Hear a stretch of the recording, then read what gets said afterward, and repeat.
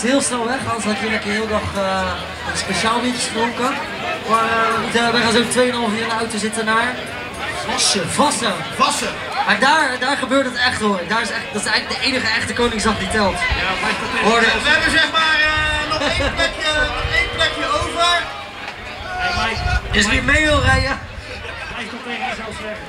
Ja, maar Randy op schoot trouwens. We hebben geen stoel meer vrij. Ik heb geen broek aan.